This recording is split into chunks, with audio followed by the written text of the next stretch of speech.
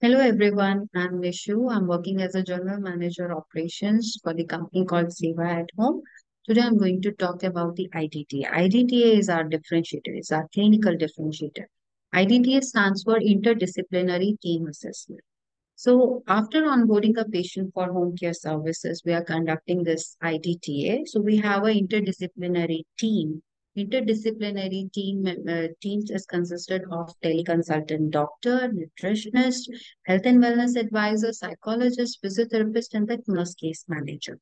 So what we're doing in the IDTA, in the IDTA, what we're doing, we're gathering all the clinical information belongs to the patient and all the different healthcare professionals, the team members of the IDTA, they comes together and trying to understand the patient disease condition and help the providers to provide the best possible care at the patient place.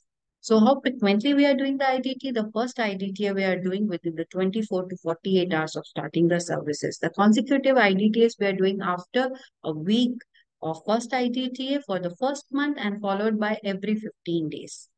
So uh, why, what is the objective uh, of uh, doing the IDTA? Is basically is to provide, the main objective is to provide the more efficient, supervised and comprehensive need-based care to the patient.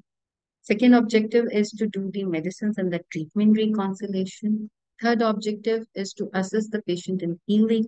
Fourth objective is to uh, set the routine of the patient pa patient for the care. So the provider gets to know, like uh, set the schedule, like what uh, care schedule. So he's very, he or she is very clear about the type of services is to provide.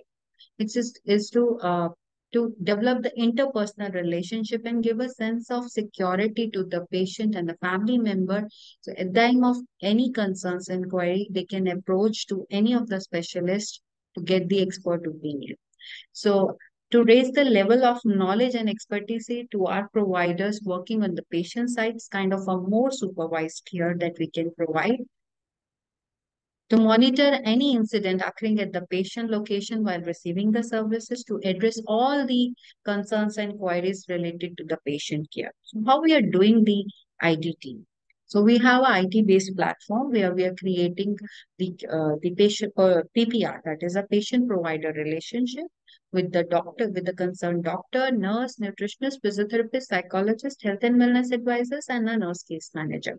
Nurse case managers uh, act like a IDTA custodian and arrange a call between the patient, family member, provider, and uh, and the IDTA team members.